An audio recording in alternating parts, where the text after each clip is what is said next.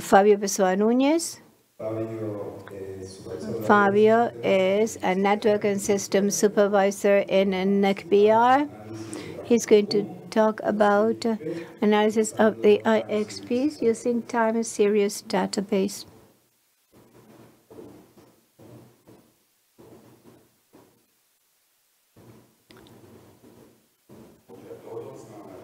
Hello, everybody. My name is Fabio. I work. I belong to the team of uh, IXBR, and I've come here to talk about uh, the analysis of the BUM traffic of an IXP that using OpenSearch that can help us solve the problems faster in the network. What is the BUM traffic? BUM BUM means broadcast, unknown unicast, and multicast. So these are frames that are essential for the operation of a layer 2 network. And in general, it, they are sent to almost all the ports of a, layer 2 network. So, and the, uh, not all the frames in a network are necessary um, or essential for we see cases, for instance, of a misconfiguration of the routers, of participants that uh, generate uh, frames of these types, and each of them will reach the entire network, all the IXP participants as a protocol for discovery of a neighborhood, as uh, IGMP and, and IGMP and OSPF, and even in cases where um, unicast is being sent to the network with a MAC address of destination of the frameworks that are not present in the IXP, but for some problem, the that traffic is sent to the destination network in the network of an IXP. In most cases, these frames are necessary to operate the layer 2 network. ARP and NDP neighbor solicitation in IPv6. It is not possible to establish communication between the participants without the legitimate traffic uh, from ARP and NDP. However, there are some examples where these frames are generated because of problems in the network in layer 2. Uh, through a switch, uh, because of the switch, sometimes we um, um, they don't know. Uh, a, MAC that should be known but uh, is not uh, um, was not recorded, and they start looking. So sometimes there are problems in the layer three. Let's assume that the port of an IXP participant uh, crashed. So row time BGP has not uh, crashed yet. Uh, so in the routes of the active the active routes of the participants. They are distributed to all the participants, and all the participants will continue to try to sew to a MAC that is no longer in the network. So what is the motivation of this analysis?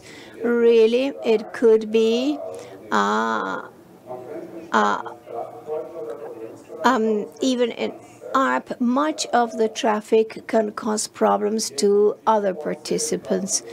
So, as I said, this can be the result of problems in the infrastructure of the IXP.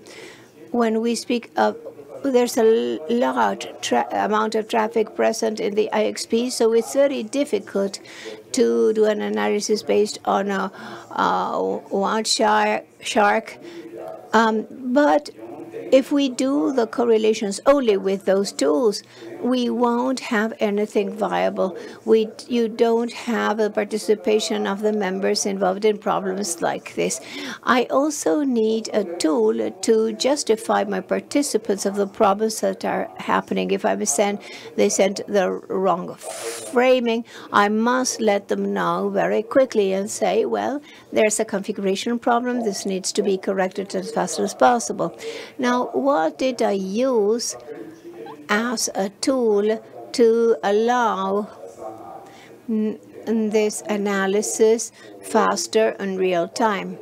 We start the OpenSearch. Mm, that is a tool. It's an open source tool that is used to analyze a large number of data on real time. All the data that I will store are expressed in JSON in a structure called documents. And uh, the uh, grouping of several of those documents, uh, they put in collections with similar characteristics, and we call them indexes. Indices. So we look for things with the same characteristics. OpenSearch has uh, allows me to do storage of the data and also to search for information anytime. It, in an, it has an ecosystem around it that makes it possible to do the entire process from the moment the data is obtained, handling, storage, and visualization. So here, let me show you how I did the entire process to do the analysis and to keep it constant. Here we have the capture of the traffic in the network in real time. The BUM traffic that is generated in the network is sent to all the participants, so I'm not collecting an exclusive uh, traffic. All the participants receive that, all the IXP ports, and that information is processed with different tools until and until it becomes available for our analysis and for potential action. The premise that we try to obtain in this workflow is that any of these tools may be delayed easily, for instance, or maybe to improve uh, scalability. That is, we can take a piece of the flow uh, workflow and the tool may continue to work. Here, let me show you step by step how each of the stages uh, happens. The first uh, stage, we have the in the environment IXP MLPA, that we have the traffic. Mm, we use the T-Shark for capturing the traffic, uh, the, uh, the frames, as if it were a Wireshark. The T-Shark writes that uh, the data in a JSON uh, text file, but only with the frame's headers. Why do I want to analyze the network? So after writing this in the file, I use the Filebeat to analyze the text file and uh, uh, saving new entries. So I see that there's a new interest in the file text uh, and the text file, and uh, it is then used for processing and analysis.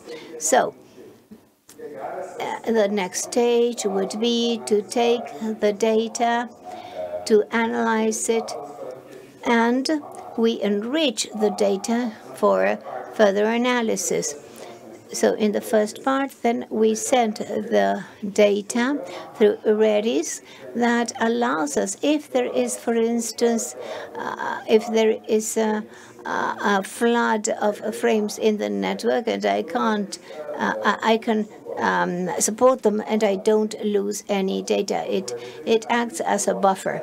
Then I, it sends it to the Logstash that is another in the ecosystem of the eco, of OpenSearch and really then it starts doing a more in-depth analysis of the frames that I'm capturing.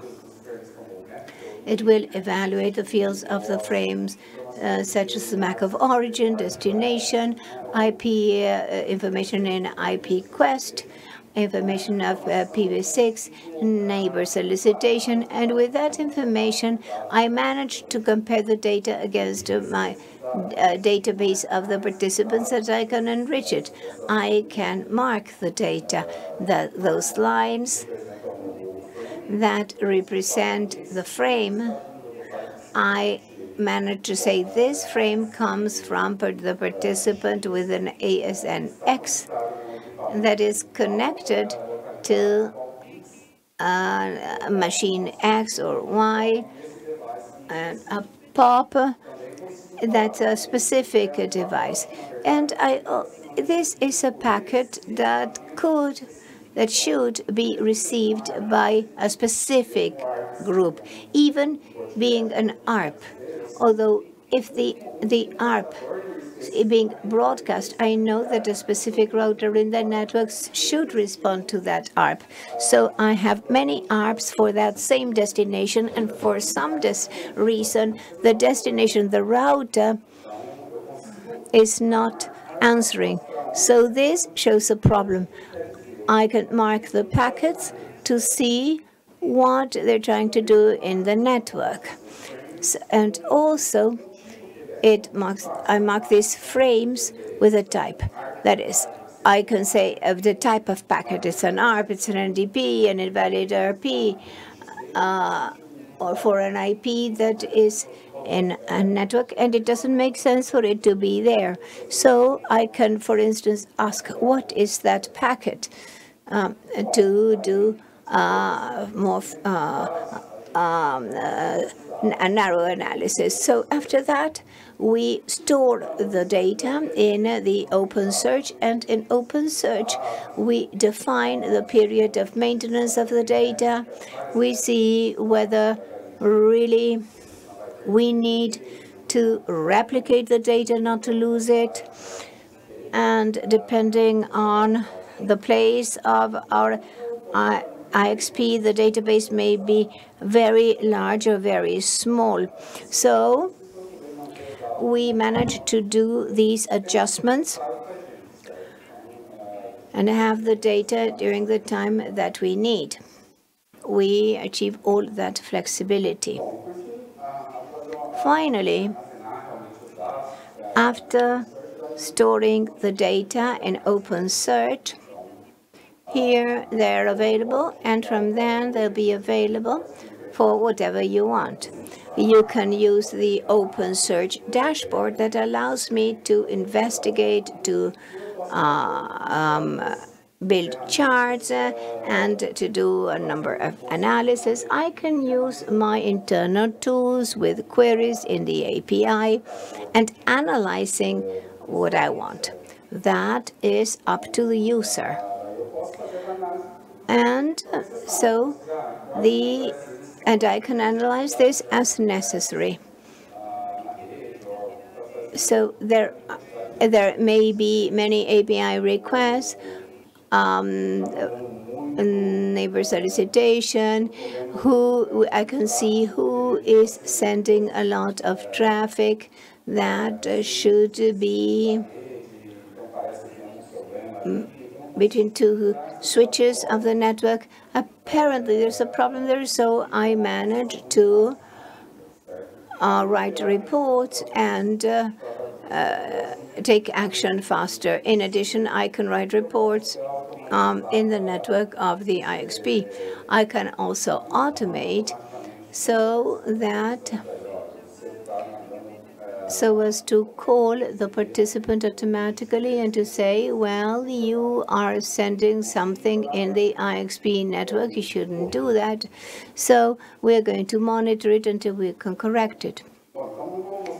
So here, let me show you some of the screens. How do how can I see the data using OpenSearch dashboards?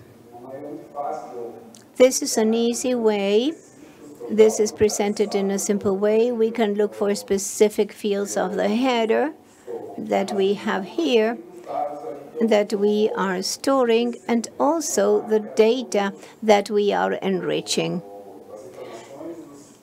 For instance, if we want all the information from the frames art of the specific autonomous system, we, here we can filter considering periods even. If we want a specific period, we can see how much they are sending. You can filter it that way. Or also, we want to know the ARPs that come from a specific uh, model, and we can also get that information directly here in the dashboard of OpenSearch.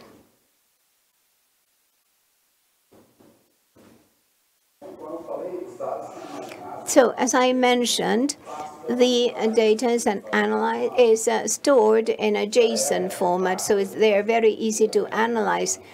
In itself, it's already easy to read the data in this format that JSON presents, but you can also use it simply with an API or with an app, whatever we want.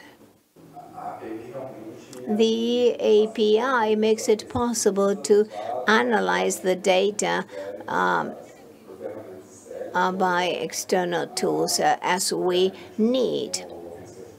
So we can use both internal or uh, external um, uh, tools in the uh, dashboard, in the OpenSearch dashboard. And here with this tool, we can uh, produce charts. For instance, in a specific time, we can see all the protocols. For instance, we have a very high number of ARP or requests or queries. So we can see all of that in charts, heat map, heat maps.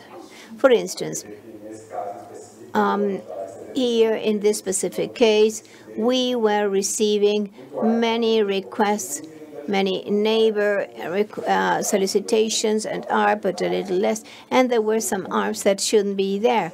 We also have some cases of router advertisement, and we can do these charts. So these analysis. And another way we can visualize the data is what we see here. You see the flow charts. You can see who's talking to whom. So, as I mentioned earlier, we have, for instance, we have an ARP, and that goes to the entire network. Only one specific router should answer. In this uh, flowchart, we could generate, for instance, uh, in site A and site B, etc. I had to cover the data because it's something real. So we've observed several requests of art for a specific site or also for a device. For instance, device 10 in the network is generating many uh, queries that should be answered by machine 6 or device 6. So in this way, you can establish a correlation. If there is a very high increase in the flow of these two machines, we may have a problem, and we can send alerts. As I said earlier, we can also do an ARP analysis and uh, and D, trying to understand why we have so many ARP requests in the network. If there are some uh, requests that are being repeated a lot in the network, there may be a problem, there may be some restriction, or even we, we are protecting the network. We can do an analysis with this data uh, actively and to actively um, um, uh, start an action with the network participants. We may also have cases where participants that are sending uh, ARP requests for a specific destination, maybe that destination is no longer part of the network. So it's a, it may be uh, uh, somebody that may have uh, disables, disabled the network. So that is the idea with these graphs. So that is what I wanted to, sh to share with you. As I mentioned earlier, this type of uh, BUM traffic is quite critical in the IXP networks. So it's a very complex analysis. We need these tools to facilitate the real-time verification so as to start actions before we may have more severe problems in the IXPs.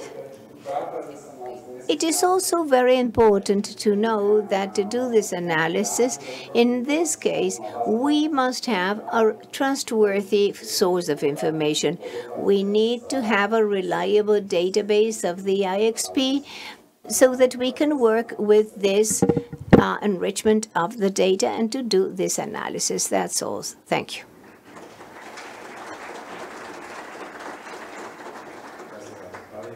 Thank you, Fabio.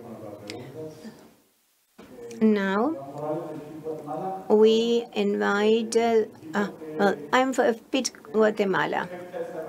That tool is perfect. Are you going to make it available for the community? Well, all all the tools are open source, but I don't have a public description explaining how each of the steps uh, were done. But you can get in touch with us. We can exchange some ideas, and I can help you somehow to work uh, in the configuration. Thank you. It would be very useful for me to have that. Thank you.